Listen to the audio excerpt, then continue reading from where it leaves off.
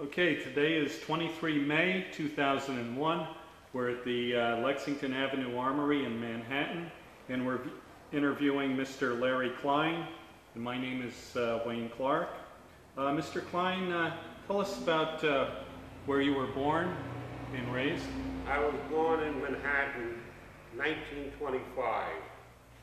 From Manhattan, after a few years, my family moved up to the Bronx.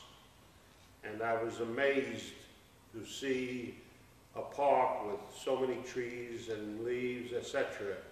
And it was like farmland. And then walking further into the Bronx, uh, we saw the Bronx Zoo. And it was, it was amazing to see the animals roaming basically free except that they're fenced in, you know, with Mhm. a large area of uh, grassland for them.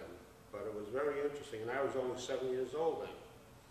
And from, from the Bronx, I, uh, my family stayed at this one place, uh, which uh, address was uh, 2153 Southern Boulevard, which is right across the street from the entrance to the Bronx Zoo on Southern Boulevard.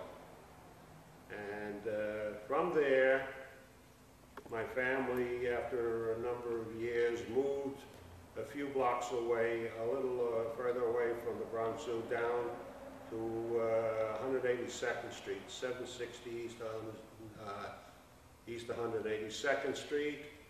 And that's where we stayed until World War II started. Now, what kind of work did your father do? My father originally was doing quite well in the 20s. He was in, he was in the millinery line. And uh, gradually the line started to peter out to where there wasn't too much work, but he stuck to it and he, had, he always worked. He always made money for the family to live on. Did you have any brothers or sisters? I have three brothers and one sister. Uh, now they're all in their late uh, 60s. And my sister, who I love very dearly, was adopted because my family, uh, my mother had four boys and she always wanted a girl. And my aunt was married to a merchant marine man who was killed in action on the uh, Atlantic seas. And uh, when she had the baby, uh, she, she didn't want the baby for some reason, which I'm not aware of. And my mother adopted the baby. So she's basically our sister, being born in the family, etc. And, and she's a beautiful girl too. Uh, from that point on, uh, when December 7th, on the date of December 7th, I was in a theater called The Deluxe on Tremont Avenue in the Bronx. And, and I was uh, 16 and a half years old at that time. I remember walking out of the theater when the picture was over, and the and I saw people gathering around the newsstands, and I couldn't understand why. When I reached my home, my father told me to listen, turn on the radio and listen, which I did. And President Roosevelt was making a speech to Congress about the attack on Pearl Harbor.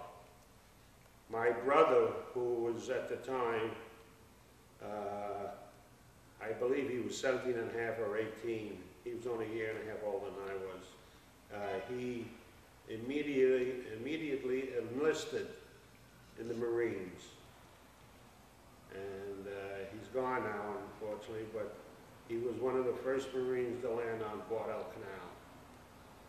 And he picked up malaria there, and uh, gave him hell throughout his, throughout his life. But he was one of the Marines, and he did his job well, as well as the rest of the Marines on the island. Uh, as far as I'm concerned, I couldn't enlist until I was 17 years old. I was only 16 and a half at that time. And then, when I reached the age of 17, I told my parents that I wanted to enlist in the Navy. I had to give it some thought because at that time, As strange as it seems, I, I could swim, but I didn't want to live in a foxhole. So the thoughts were, uh, were going towards the Navy, and I finally made up my mind. I enlisted in, uh, the, to, in the Navy in Manhattan, and I was shipped out to um, Portsmouth, not Portsmouth, uh, to Rhode Island. Uh, I forgot the name of the base, Newport, Rhode Island. And uh, we had basic training there for three and a half months. I was assigned to a man of war called USS Quincy. Strange as it seems, at that time, there was a battle going on for Guadalcanal. And basically, we really lost the battle because we lost four cruisers and a few other ships besides. And one of the cruisers was named the Quincy, USS Quincy. And uh, one of the shipbuilding yards in Massachusetts, Quincy, Mass, Bethlehem yards, they were building another cruiser, brand new one, wasn't quite finished, and they decided to rename it. Original name was given to St. Paul. They changed it to the Quincy. Uh, the first Quincy numbers were CA 39. The second Quincy was CA 71. Uh, and uh, it was commissioned in January of 1943.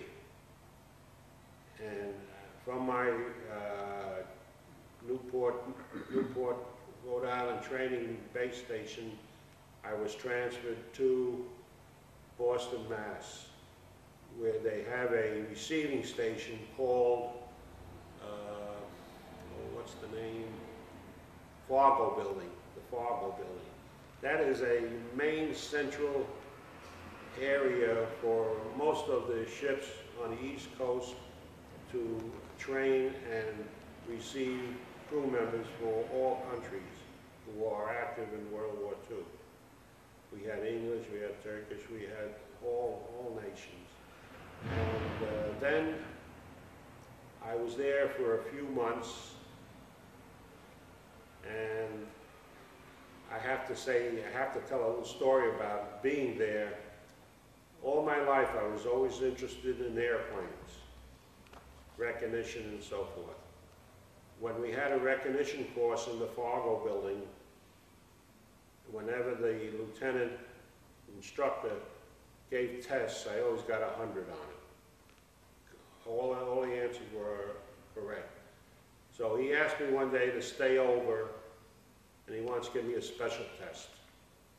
I said, fine. And when he gave me the special test, he gave me, he, uh, he took 100 slides of, of all types of enemy and allied aircraft and flashed them on a screen at one one hundredth of a second. And out of the 100, I got 99 right. The one I, I missed was a head-on view of an American medium bomber, which looks like a few other type bombers. But he was so impressed, he asked me would I be interested in being his assistant. And I said, sure, yes, absolutely. He was stationed in Boston and Floyd Bennett Field, training pilots for recognition. So he said he put a, a request into my commanding officer for, for a transfer. Well, my commanding officer said, if he's that good, that we need him on the ship. And that was it. I didn't mind, because I had an interesting life on a ship. Uh, living, I never lived on a ship before, never traveled like I did on the ship, and it was just great. And besides that, it made a man of me, visiting all the various countries, etc. Our first uh, assignment when the ship was ready for sea was to convoy four ships to Europe, which we did without any incident. Uh, and then I understood that we were assigned to a bombardment group for D-Day, for, we were assigned to a, an area called Utah Beach in France, but this was a few months away yet. But we were told that uh, the ship is assigned for D-Day. We had liberty in various countries, in Scotland, Ireland, and England, and uh, we, we traveled quite, quite a bit from each country with the ship. It was very interesting meeting the people, talking to people. They all, they all were very, very nice to the sailors, the soldiers, etc. Then from that point on, when D-Day was drawing close, we pulled out to sea for some training practice. Uh, we went to an area in the Channel on the southern tip of England, just to, I guess, just to try some things out. And then we came back to England, and uh, I believe next few, few days we were ready for D-Day. Originally, D-Day was scheduled for June 4th, Mhm. But because of the bad weather, they changed it to June 6th. And there's a story in that uh, day, June 4th, was that all the ships were headed out towards France for D-Day. And we got word to abort the trip and go back to England, which we did, except for the French battleship Richelieu. Evidently, they, this is the story, I don't know how true it is, she did not get the message. And when D-Day came June 4th, she was the only ship on a firing line off France. And uh, supposedly, uh, they had a battle there until it was out of range of the German guns. How, how true the story is, I don't know. Mhm. But anyway, let's go on with the story. It, uh, then we sailed out June 5th, about 12 o'clock at night, in a very, it was dark skies, the whole crew was at, that at their battle stations, and we were passing a number of flotillas of uh, military ships with their equipment on it, etc., troop ships, and we finally arrived at our firing station, and it was called Utah Beach. This is my first battle, and I tell you, I, I was frightened, I was scared. It's only normal when Mhm. when things like this happen. But what got me is that all the uh, shells being fired, not only at our aircraft, but on the ground, it was just like a Fourth of July. It was beautiful, really, but Mhm. unfortunately, they were exploding, and it looked, uh, it looked good, but it was bad for the soldiers, enemy as well as ours. Did your uh, ship take any hits?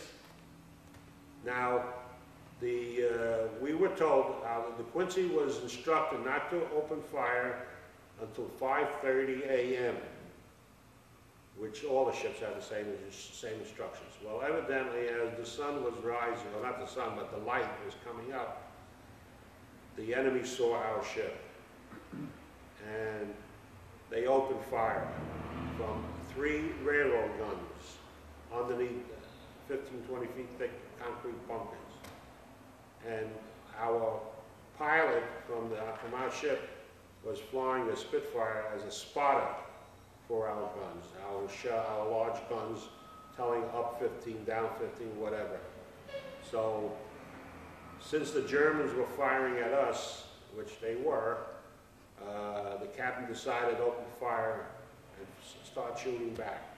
Well, we opened fire at 5:20 a.m., which from many magazines and books that I've read indicates that our ship was the first ship to be fired upon and the first ship to return fire on D-Day.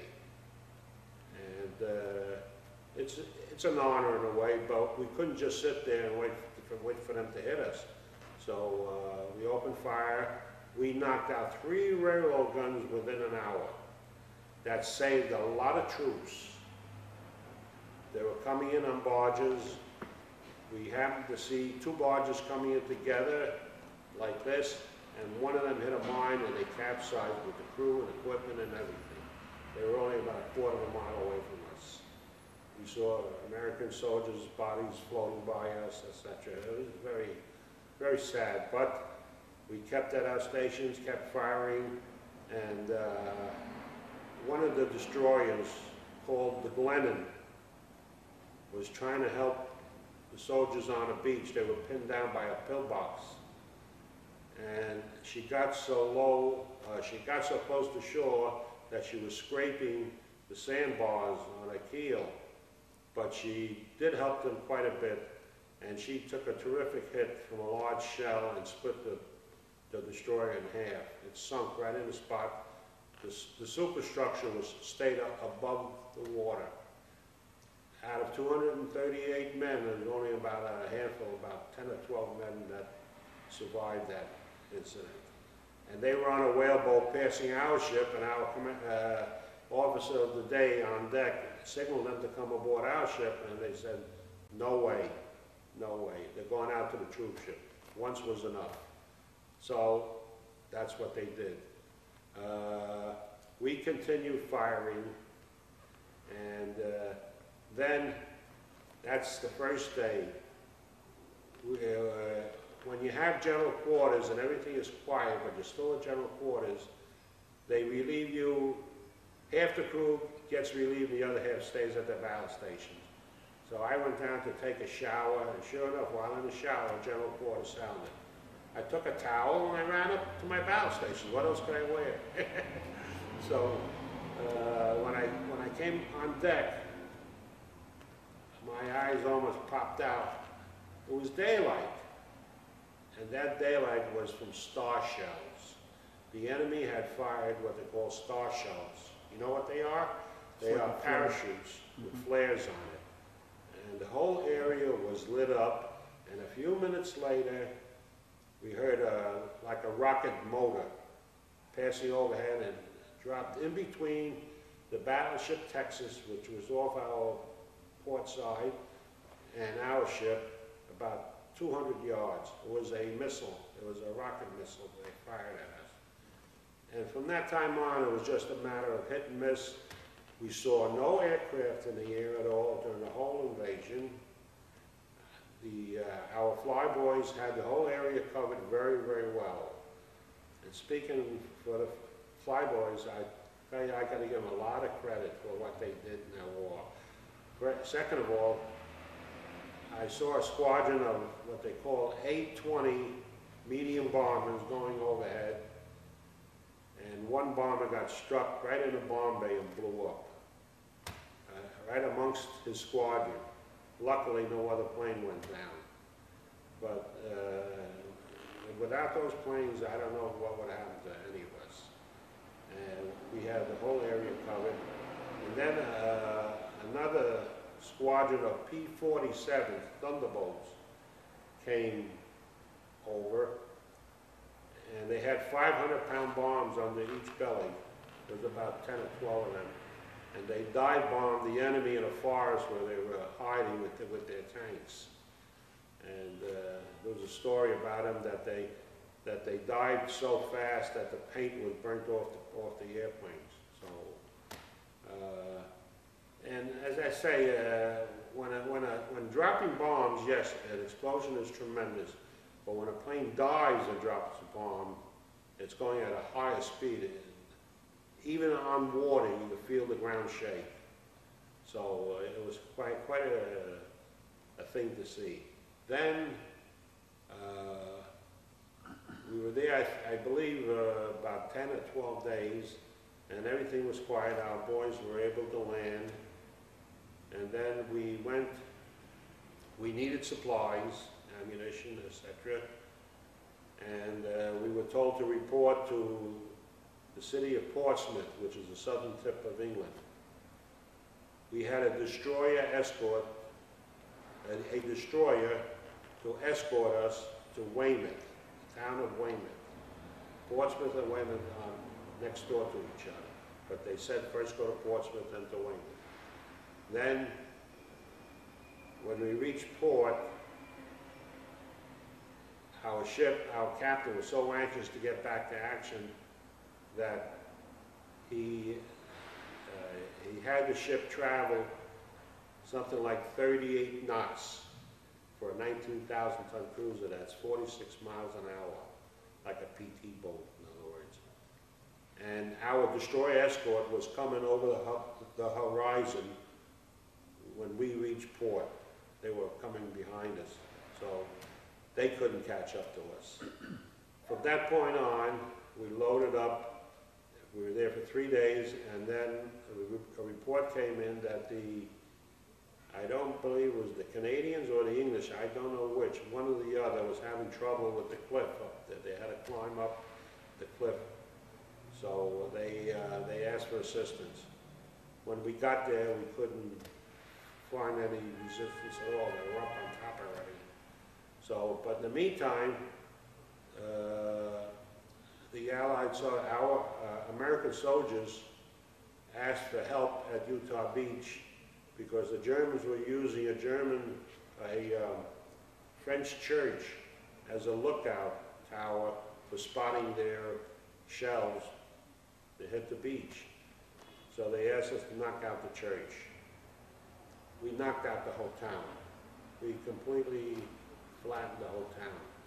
Then another call came in from our Allied headquarters that uh, uh, there's a, uh, a car loaded with generals and officers heading in a certain direction, and uh, can we do anything about it? We fired a couple of firing shells, we knocked them out. From that point on, it was just a matter of mopping up. Then, uh, when we finished uh, with, with the invasion forces, they were all settled. We had, uh, we were asked for assistance in the Cherbourg area. Now, Cherbourg is a, uh, is the type of, uh, how should I say, it's a, it's a shipping area, and it had the harbor that Eisenhower wanted for our landing of supplies. So uh, we were instructed to form a small task force to uh, bombard uh, the city of Cherbourg because the Germans were caught in a pocket there. They couldn't get out through the mainland and they couldn't get out through sea. So, and they wouldn't surrender. So the Allied forces asked for uh, help in knocking them out. That's what we did. And it's considered the hottest naval engagement in naval history. Shell a second was fired at all the ships, including mine. We got shrapnel hits, and uh, some of our antenna wires were cut by, by the shells. But a British cruiser that was in front of us got hit with three shells. Something like 13 killed, 21 wounded. We were lucky, we didn't get hit. And from there, we sped away, returned to Portsmouth or Weymouth, one or the other, to resupply and head back to uh, America. From America, I mean, uh, while in America, we went to uh, uh, Boston Harbor. That was our home base, Boston Navy Yard. The rumor was starting to spread that Roosevelt was going to come aboard our ship. And we don't know how true it was, but it was a rumor. The next thing, we, we were ordered down to uh, the area of Norfolk, Virginia, where they started to install an elevator. When we saw that, we, we figured the rumor was true. And from that point, we uh, just waited and see what happened. And then they, when they finished the elevator, they took it off, they took it off the ship in one piece. And then somebody said that it was canceled, that he's not coming aboard. But that wasn't true, that was to throw the, the rumor off, basically. And then, uh, we had two weeks leave coming for the whole ship, and we went into New York Harbor, into New York City. It was the greatest liberties I ever had. We were treated royally in, in uh, New York City with the show people, etc. And was home every night, almost every night, and uh, I had my family come down look at the ship, and uh, we did a lot of things at that time. From that point on, It was just normal visits and routine in Manhattan. And then the ship pulled out quietly one night, headed for Newport News, Virginia, picking up Roosevelt. We picked up Franklin Delano Roosevelt Newport, Newport News approximately nine, ten o'clock in the morning. And the, all the crew, except those needed to operate the ship, were asked to stay below decks. Now, the story that I was told, why he was traveling by ship to Yalta was because he, uh, he wasn't feeling well, and his, and his doctors told him, you take a sea trip, you'll feel better. Don't fly.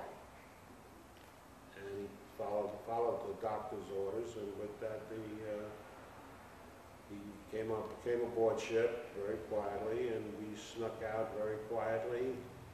And he, uh, we had, he, the captain had taken the, the, the South Atlantic route, which is a very balmy, calm sea route. And Roosevelt had his daughter aboard with him to take care of him, Anna Boettiger. And uh, that's the first time I ever heard of a woman being aboard a man of war and traveling out at sea. With that, he, uh, he started to mingle with the sailors on, on board. And uh, he had a lot of admirals and generals aboard with him, his, his cabinet members. Not all of them, but most of them. And then uh, he was talking to the deck, deckhands or the sailors doing their job on, on board ship. And he was coming around closer to me, and I figured he'd come over and ask me what he's been asking everybody else, such as, where are you from, son? And naturally, they tell him and so forth, but me being me, I like to make people laugh. So when he, when he reached me, he said to me, where are you from, son? I paused for a couple of seconds and I said, the Bronx. So he, he laughed and then he shook his head, you mean New York City? I said, yes, sir. I just wanted to make you laugh, I said. He said, you sure did. So, anyway, from that point on, it was just a normal cruise until we hit the Straits of Gibraltar. I don't know, I didn't hear of any uh, submarines waiting for us there. So uh, everything was smooth. We went to the island of Malta. We, we uh, tied up to one of the mooring markers there. And a lot of visitors were waiting to come aboard, such as Churchill, uh, Governor General Malta, and that's about it as far as I can remember. But he had a lot of dignitaries later on. And uh, they had their meetings, and in the meantime, the ship's crew had liberty. The island was closed off to everything. No calls coming in, no calls going out. It was lock, stock, and barrel locked up. And uh, it was a, a beautiful island. You know, it's so old, and there's so many interesting things there to see. Uh, they had a cathedral there with a solid gold roof, covered with sheet metal roof, gold, all gold. Uh, they had mummified bodies of famous generals and priests and whatnot that they, that's what they do. So with that, they, uh, they had, uh, how should I say, uh, they had their thing going and I was on liberty most of the time, so, uh, and the people were very nice to us. Uh, You know, they saw American soldiers.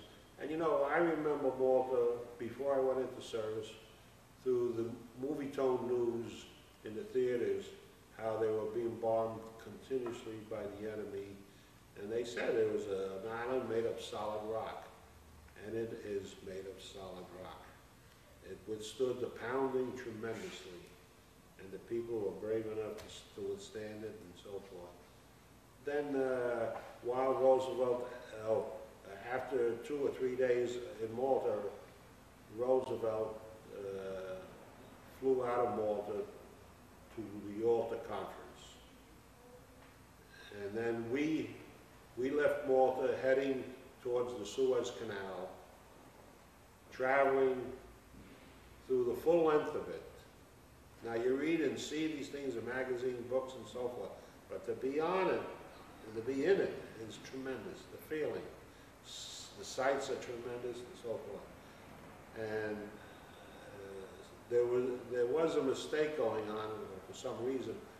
We, we tied up in the city of Alexandria for a few hours because they wanted to make sure no traffic was coming through the canal that might interfere with our ship, because one day you go one way, and another day you go another way. So we waited, and everything was fine. We started through about midway. Here, here comes an ocean liner. No troops on it, just an empty ocean liner.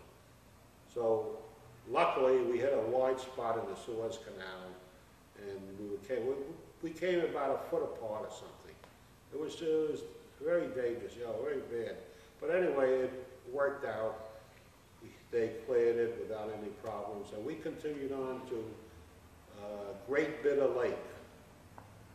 Great Bitter Lake is, is located at the end of the Suez Canal, where if you dip a stick in it for a couple of seconds, it comes out all salt.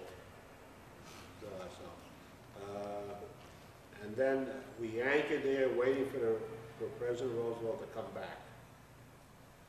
In the meantime, he received dignitaries from various countries, such as Haile Selassie of Ethiopia, King Farouk of Egypt, uh, uh, and some members from, from the French dele- delegation. I don't remember their, their names, but I have it in a book. And, uh, and I noticed near the horizon, there were white, white uh, ships, uh, men of, men of war. So when I asked an officer about it, he says that's the Italian fleet. When they surrendered, they put them in that area out of the way. And uh, I have to laugh in a way, but uh, you know, the uh, Italian admiral came over to pay his respects to Roosevelt, and Roosevelt turned them down, turned them away. You were the enemy, that was it. It's unfortunate, but that's what happened. Uh, Then from that time on, Roosevelt came back, and uh, we, and and then uh, we proceeded back through the Suez Canal into the city of Alex- Alexandria, where Churchill, on his ship, his cruiser, was anchored in the harbor, visited Roosevelt again for another conference. And then when, a few hours later, the conference was over, we proceeded, I thought, to go back home, but instead we went to Algiers. We docked alongside one of these open docks, which is a big lot, built up, you know, with dirt in the middle, but pilings all around. And the population of Algiers was all loaded up on the docks to, to see what they can of our ship and Roosevelt, etc., and the people coming aboard. Uh, And I have to make this mention. The French Algerian women are beautiful. They don't wear too much makeup, but their features stand out tremendously beautiful. And uh, we never got a chance to go out with them or anything, but I, I, you know, just from looking how they looked, and it was just out of this world. But anyway, let's continue on. We, after three or four hours of waiting, I inquired, why, what are we waiting for? It was for the French uh, leader, uh, what's his name? The tip of my tongue. De Gaulle? De Gaulle, Charles de Gaulle. They were waiting for Charles de Gaulle. And evidently he snubbed Roosevelt because he was not invited to the Yalta conference to have equal say. This is a story I got. How true it is, I don't know. Uh, so we waited about four hours. He didn't show up. Then we started home. We went through the Mediterranean, and we were a few miles, about 15 miles away from the Straits of Gibraltar. We, the ship's radio received a message from the Royal Air Force at Gibraltar. There's a, a submarine wolf pack waiting for us, about 12 to 15 submarines. In the meantime, the Royal Air Force had their planes fly over the Straits of Gibraltar, dropping depth charges. Our destroyer escorts did the same thing, and our ship went through traveling at top speed, 38 knots. And we continued that for about 12 to 14 hours.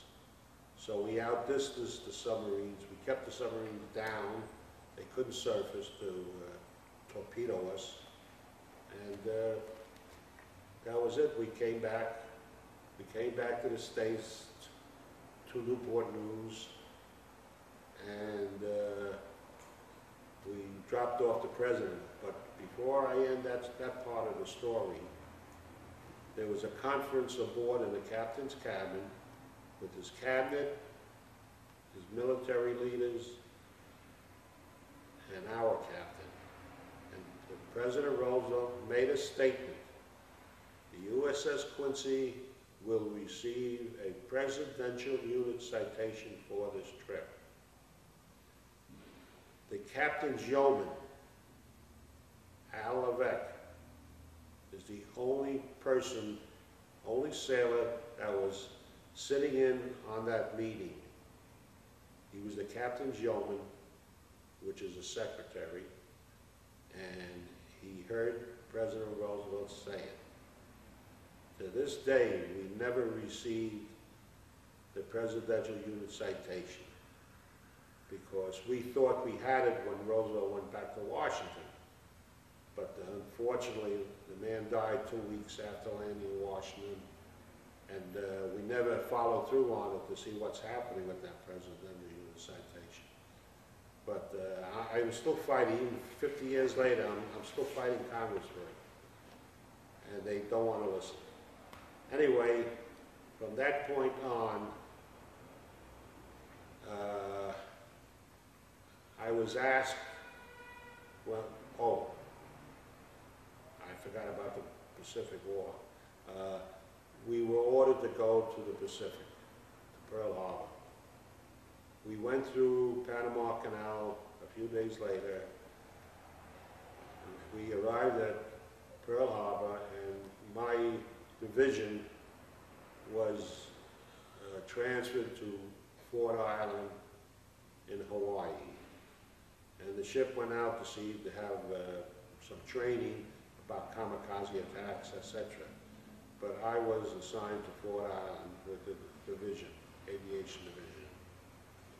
And uh, when everything, after the weeks passed, I, the, the, uh, ship got orders to, uh, to travel to the Third Fleet, to take up a position with the Third Fleet.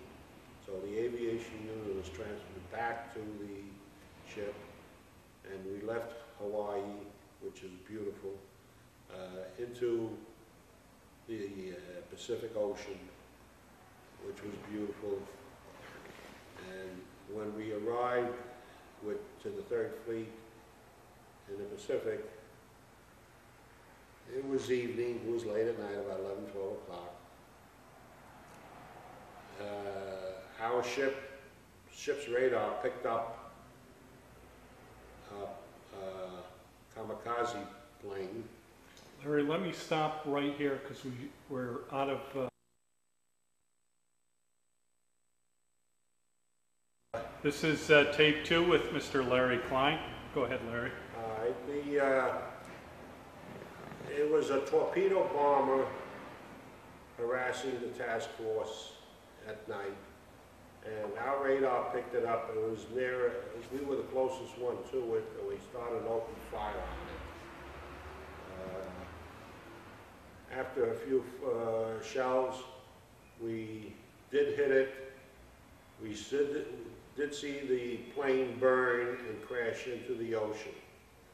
Shortly thereafter, Admiral Halsey, who was in charge of the fleet, stated to the captain and the crew of the Quincy, a job well done. And uh, then we continued on to our position in the task force. Uh, You wanted to go back to uh, the the Kingfisher? Well, uh, yes, yes.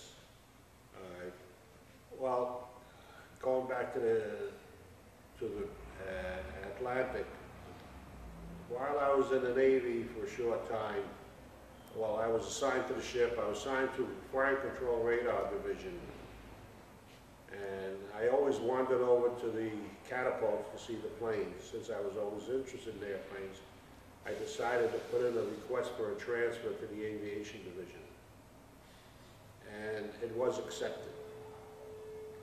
And I was so thrilled and happy about it.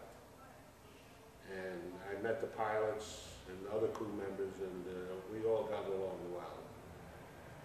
Uh, From that point on, it was just a normal routine of maintaining the planes and uh, maintaining our quarters where we slept and so forth.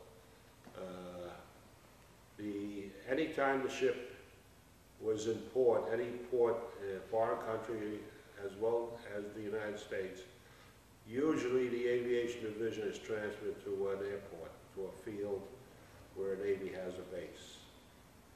And then when it's ready to pull out to sea, they uh, transfer the whole unit back to the ship. When D-Day came,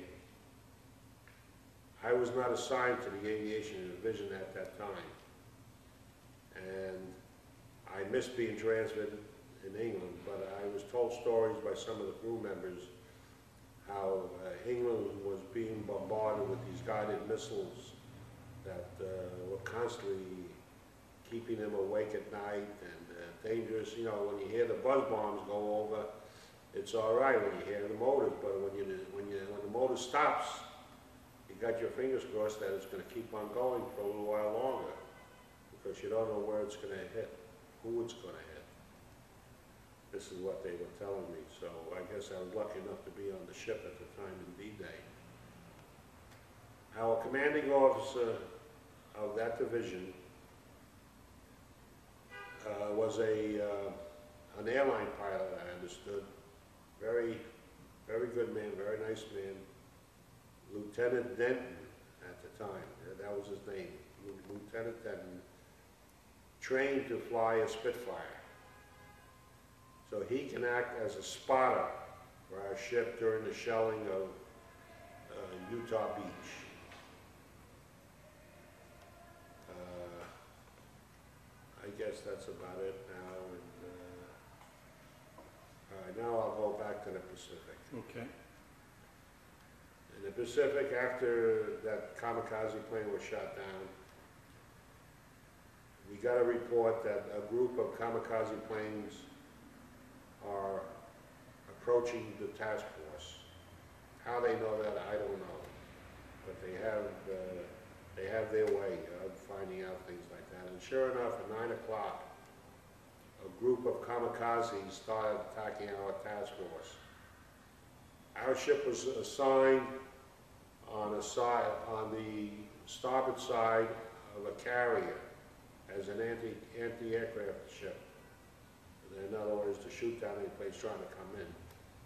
We, we had approximately, uh, uh, twelve, what they call forty millimeter quads, four guns in each quad. So we had quite a fire, fire, firepower. Plus we had, uh, six five-inch twin gun mounts of five-inch, uh, how should I say, anti-aircraft guns as well. And they well, were used well on these attacks.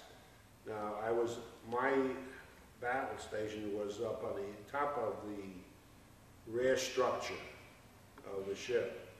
So I had a beautiful view of everything. And this one kamikaze was coming in from the rear low he was trying to hit this carrier. I don't recall the name of the carrier, but he was flying very low, about 50 feet above the water. and he, he was uh, approaching uh, a battleship which was be, directly behind the carrier. And one of our fighter planes, a Corsair, was on his tail shooting tracer shells. Some of the shells hit, but it didn't stop the kamikaze. As soon as the battleship started to open fire, the American plane, the pilot, banked away from that, from the kamikaze. And uh, he, and uh, the fact that the kamikaze was hit, he started to fly low and it hit the rear of the battleship, someplace, and uh, hit the battleship, the rear, uh, stern of it. But the next second, there was no more plane. He ran into a five-inch shell that struck him directly in the nose, and it just crushed the whole plane into a ball of fire, and it went down. And that was the last we saw of the kamikazes for that day. Now, I remember, uh, I don't, I don't recall the date that this happened, but it was very close to the surrender date. The, uh, we were sending out thousand plane raid. The Navy was sending out Navy planes, thousand planes at a time over Tokyo. And when the thousand planes left the Third Fleet, President Roosevelt got word that the Japanese are willing to surrender. Third Fleet got the notice, no more hostilities. They recalled a thousand planes which are loaded with bombs, rockets, and whatnot. And they can't land as long as they are carrying this armament. So the Admiral and Halsey decided to have target practice, and our ship was called out to, to put a towing spar on the stern of it, about 50 yards away from the ship, but tow it with a flag indicating the target. And the planes came in shooting, shooting their rockets, their machine gun bullets, and dropping their bombs and whatnot. It was uh, quite a sight. And then finally, as each, each plane landed, uh, everything was peaceful again. They decided to have target practice. Every ship that was in the Pacific lined up one behind the other. Every major ship, that is, from a destroyer to a carrier, battleships, uh, cruisers, or whatnot, lined up in a in single file. And our ship, incidentally, had carried drones for target practice a couple of months earlier. So we were asked to have these drones ready for target practice, which we did. Now, when you say drone, was that, was that a, a boat Radio-controlled aircraft, airplane? models. The wingspan was something like uh, 15 feet, 15, 20 feet. Mhm. They had 10 horsepower motors, and these were used for target practice. And it was, uh, you know, if I had a movie camera, it, that, that, those pictures would be worth a great deal of money today, because to see every ship in line going over the horizon was quite a sight. Well, anyway, as, as each drone was used for each ship, they, uh, they retired from their position. In other words, they would shoot it down, that was it. Then the next ship would come up behind us, astern of us, and they would shoot the, the drone again, and so forth. It, it, it kept on going while it was daylight, but in the evening it stopped. Sometimes a carrier, for instance, went behind us, as astern of us, and it was quite a sight looking up and seeing a carrier 90, 90, 90 feet in the air, you know, and we're down below. The thing was, they were instructed, when the plane reaches a 45, or the drone reaches 45 degree angle through the carrier, you cease fire. Well, unfortunately, some of them were trigger happy, they didn't do that. And they opened fire with some, with the, with the drone overhead, and when it crashed, luckily, it crashed on an open deck, but they had all the planes parked out there. And some of them, I wouldn't say loaded with bomb, but they had gasoline in them. So uh, luckily, none of the drones hit the planes. And the other thing that happened was that uh, when they fired at the drone, the carrier, one carrier fired the drones, they got a direct hit with bullets, so it damaged the radar, radar con- control of the plane. And it crashed into the, what they call SK radar, which is a search radar on the carrier, the highest part of the radar, of the carrier. Uh, It damaged that. Uh, And after that, there was nothing more. The next thing, uh, we were assigned to uh, go into Japan. This happened on August fifteenth, nineteen forty-five. Our ship was the first ship to enter Japan. I don't know whether our captain volunteered to go first or not because we had to go through minefields and a Japanese destroyer was ahead of us, was leading us through the minefield. Could have been a suicide mission too. So anyway, we went through and we ended up in Sagami Wan Bay. That's the bay that's at the foot of that majestic mountain with the snow cap on it. Mhm. Beautiful, beautiful sight. Did you get to go ashore? Uh, that's, that's coming up. But first, there are a lot of people who have commented about the atomic bomb being exploded over the, the two cities, Hiroshima and Nagasaki. Uh, prior to the surrender, when the first bomb was dropped on Hiroshima, the, the task force was 100 miles away from Hiroshima. The Air Force instructed the Navy to move their ships out a minimum of 100 miles, which they did.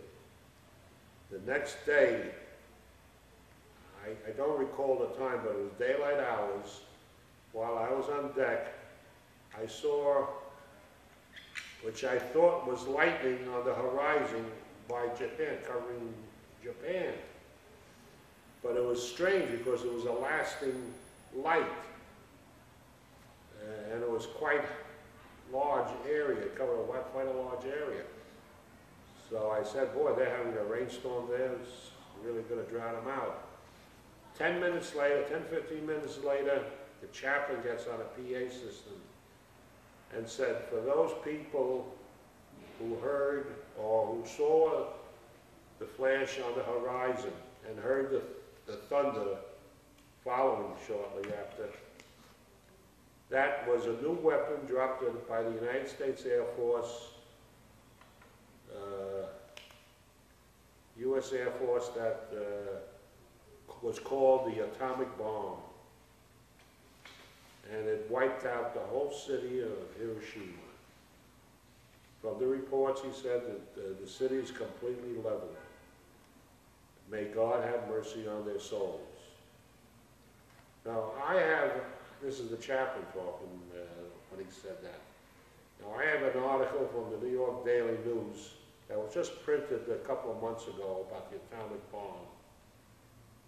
They, and the question was, was that re- revenge or was that something that just had to happen? It was not revenge. Don't forget, Japan started the war, we, we finished it. The people had nothing to say about the war in Japan. It was a militaristic regime that dictated everything to the common people. I felt sorry for the men, women, and children who were innocent pawns of this, but we were at war. Then, then, uh, when our ship went into the, through the through the entrance of Sagami, Sagami Wan Bay, I was amazed what I saw. One of the things that Japan had to do uh, with the surrender was to mark every shore battery with a white flag.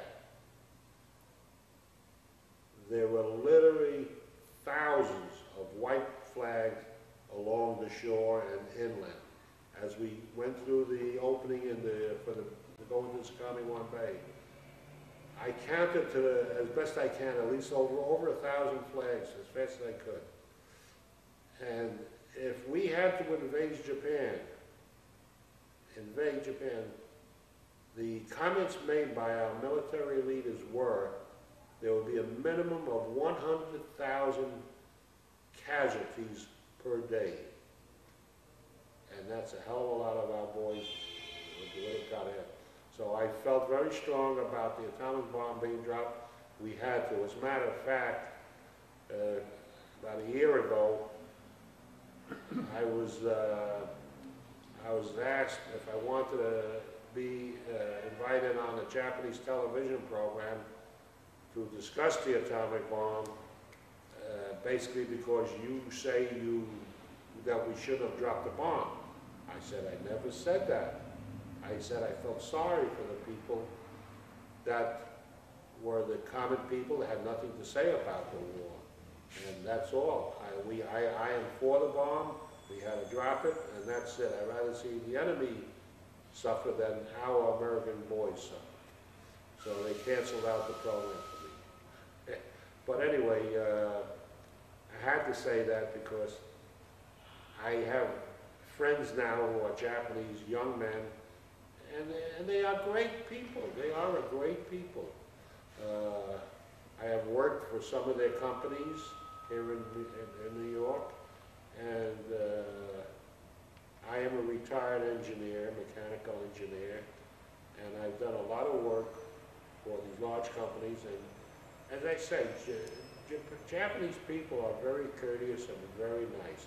There are bad ones, yes, but uh, as far as I'm concerned, they're, they're very good. Uh, what else can I say? Uh, when we came home, oh, our ship was first assigned to disband and disarm the islands off of Japan and Tokyo. With that, they, uh, the islands that we took care of had many aircraft on it and arms. We sent landing parties to destroy all this equipment because we, we couldn't take it aboard.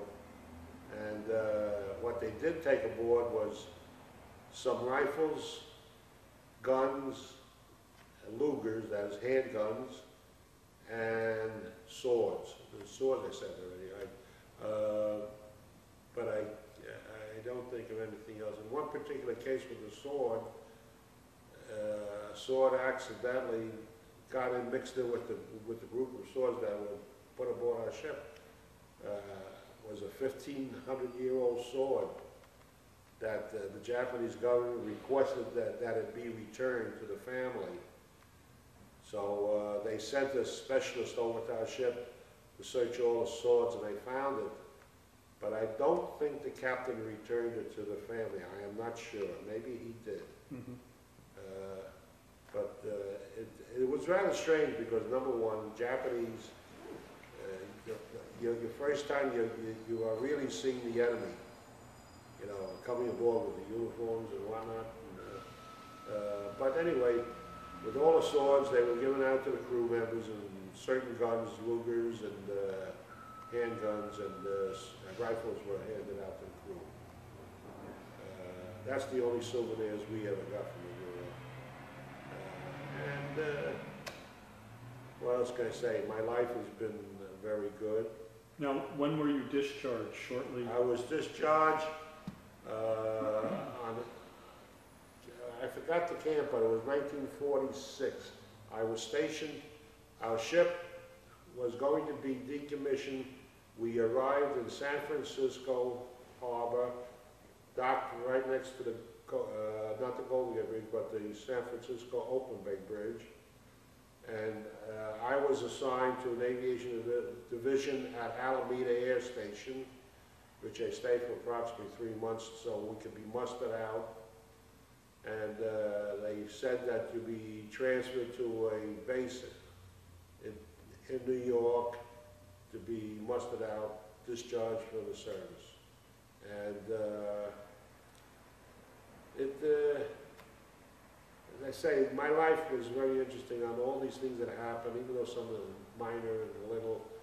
But I never would have had a chance to do all these things if I didn't join the Navy. Mm-hmm. And I tell you, in the end, the Navy is a good life. They train you properly, you eat good food, they take care of you. So, and they educate you. Mm-hmm. Now, what, The Navy, the, the Navy itself, when I went into the Navy, I was a, a meek guy. I wouldn't even talk to women. Three months later, I'm a completely different man. So it made me think differently about people, you know. uh-huh. But uh, it, it really helped my life a lot. So I, I was very happy that I joined the Navy, that I enlisted in the Navy. And now, what I, what I don't understand, and, I- and even with this film, why did they wait 54 years to do this? You know, my mind is fresh about what happened, and I can tell you more and more interesting things, but unfortunately, I can only remember what I can remember. The book shows more, they have books on World War II and so forth, but there's nothing like actually living it, being there. And uh, the same thing, when I was inter- interviewed by the BBC for the same thing, just a couple of months ago, 2000, year two- 2001, uh, I can't understand. But I'm glad something is being done now for World War II veterans and the, the memories we had is being put down for the future. And I say one thing, war is hell. It is hell. So use that as your guide. If it's hell, don't do it. I mean, but you have to fight, you have to fight. Mhm. I just uh, feel very strong about it. Larry, let me ask you, uh, once you got out of the service, did you uh, go back to school at all? I decide, when I got out of service, I decided to take a rest for a year. At that time, the uh, New York State Employment Office was giving the GIs twenty dollars a week. In nineteen forty-six, that was average money, you know, but it was enough to live on, uh, I, I was still living at home. I hadn't decided what I wanted to do, but I did make one mistake in my life, and I'm sorry for it. While I was, after this is, uh, when the ship returned to San Francisco, the, uh, I was assigned still to the aviation unit, and my commanding officer, Charles Little, made a statement to all of us. If you stay on three or four months more, I will recommend you for Annapolis. I wanted out because I was young. I, I was, when I was out of service, I think I was just 20 years old and uh, had nothing to show except the experience I had. But uh, I decided to take a rest, and I said I wanted out, and that was it. But I'm sorry I did it, because as I got older, I realized how important education is. Very, very important. So with that, I lost out. But I did lose out completely because I used the GI Bill to go to school. And what I, what I learned, uh, what I did is I uh, signed up for a, to be a machine designer under the GI Bill, which I, I did complete and get a job and work at many companies as a consultant. And then one day I said to myself, when I went to work for General Electric at the Flight Test Center up in Schenectady, New York, they had, well, Schenectady and uh, Troy, New York is a college area. Mhm. And they had one of the top-rated engineering colleges in Troy, Rensselaer Polytech. And I decided to go to, back to school at night, to college. I went for two years nights. And then I uh, had a girlfriend back in New York, and uh, she asked, why don't you transfer your credits down to City College, and that way you can con- continue. Well, unfortunately, City College did not accept Rensselaer's credit, well, not, they accepted the credits, but the fact that they don't require a language whatsoever, just to, uh, to matriculate. And uh, I didn't want a language, because I felt it was useless with a language if you take an engineering. Mhm. So when I tried to transfer, they turned me down and I said, the heck. So I had approximately two and a half to three years of college. I decided to go out in the field and see what happened and it was fabulous, fabulous. My, uh, my first job I had was, uh, uh, working, helping design the bowling machine for Brunswick Balke-Collender Company. That was the first, uh, second bowling machine, because the first company was, uh, American Foundry Company. And, uh, I was involved with the design of the second bowling machine, and, uh, it worked out well from that point on. By the, by the time I finished working with my wife, I, my salary was up around fifty-eight thousand dollars a year, which is sometimes, at the time, which is 10, 15 years ago, is more than some college kids get. Mhm. So I felt that in my, in the education I had, the things I learned from history, from my jobs and so forth, built up my life where I had a good life. I raised three children. I have three children. Robert, well, my oldest one is a daughter, is my daughter Nancy Ann, who's a special ed teacher. And my second one is my son, who's a New York City police officer, but he's a college grad. And uh, my third one is another daughter who is beautiful. She looks like number 10 uh, in the movies. Uh, she, uh, she's a fashion designer and a model. So I'm proud of all my children. And your wife's name? My, my wife, well, we are divorced now Uh-huh. after 37 years. I don't like to, you know, it's, it's sensitive in a way to Mhm. her, but me, I don't care. Money, money in it. Uh-huh. She, for one thing, she said to me one day, Larry, you make enough money to take care of the family. What do you say, I use my salary, she was a school secretary, to buy stock. She, she was interested in stock. I says, okay, figure when we, we retire, we'll either have a lot of money or nothing. So the money went up, I left, uh, so anyway, when, uh, when I found out she didn't even put my name on the stocks, uh, things start happening. Mhm. So I don't want to go any further Okay. in my personal life because that's a sensitive thing. Okay, any uh, grandchildren? I have two grandchildren and I'm so proud of them because my daughter told me a few months ago, or back in February, it was, they had a national mathematics test. And my oldest one, who at the time was 14, came in second in the nation, Mhm. mathematics test. Well, that's wonderful. And the younger one, who is, uh, well, he's 15 now, and the other one, the younger one, is 13, and he's also a very smart boy. He has an A, uh, A marks. He's doing great. Well, don't forget, both parents are teachers. Well, the mother is a teacher and the father's a principal, so he was a teacher at one time. Mhm. So uh, they know what to do with the children and bring them around to study, read, etc. And I, I'm just proud of them, so, so proud. Uh, how many people can really say that, you know, but you love your children no matter what. You love your grandchildren no matter what. And my feeling is I'm just proud because of what they're accomplishing. And I'm trying to help them.